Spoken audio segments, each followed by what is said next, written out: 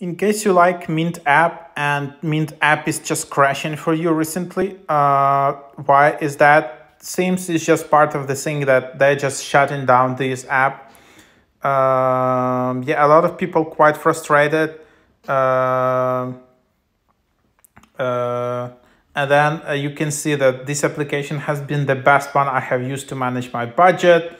Uh, but uh, yeah, um, and they're just trying to migrate all these users to other apps such as uh, Credit Karma and some other ones, and therefore probably they're just not dedicating that much time to to Mint app uh, anymore. And uh, yeah, uh, I don't understand what's happened. Probably to reduce cost, but to be honest, I think the budgeting tools on Mint is one of the most powerful tools in the Intuit ecosystem.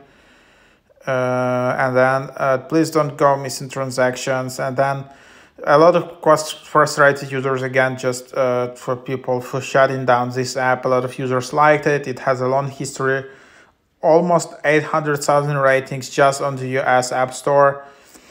Uh, but yeah, after the acquisition, seems they just shutting down this app and that's what it is that's probably that's why it's glitching for you so i'd really recommend to try to find some alternatives out there and just try to migrate to to another app sap especially if you have a lot of budgeting and a lot of data in this app.